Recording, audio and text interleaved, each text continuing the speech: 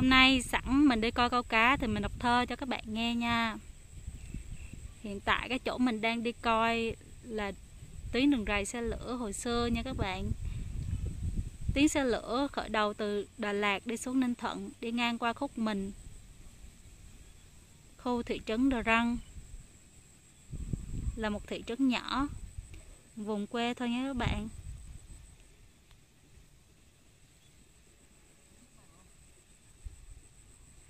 Sẵn ở đây có cây tre thì mình đọc thơ về cây tre cho các bạn nghe nha.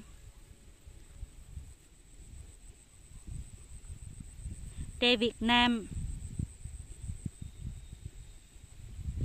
là một cái ờ, loại cây khá phổ biến từ bao đời, bao thế hệ đối với lại người dân Việt Nam ờ, nó gắn bó từ đời ông bà sang đời con cháu nha.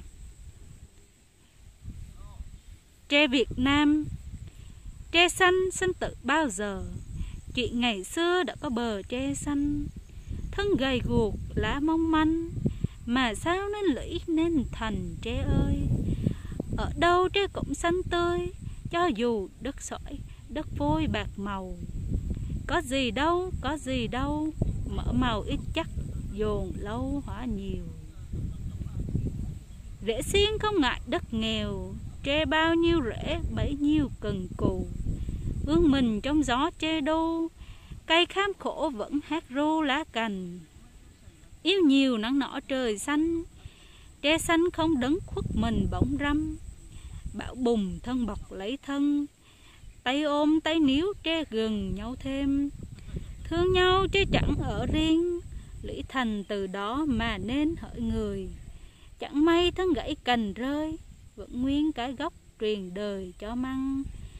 Nồi tre đâu chịu mọc công, chưa lên đã nhọn như trong lạ thường.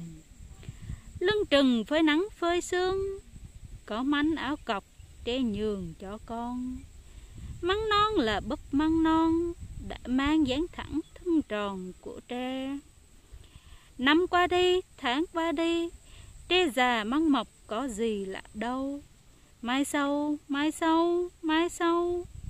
Đất xanh tre mãi xanh màu tre xanh.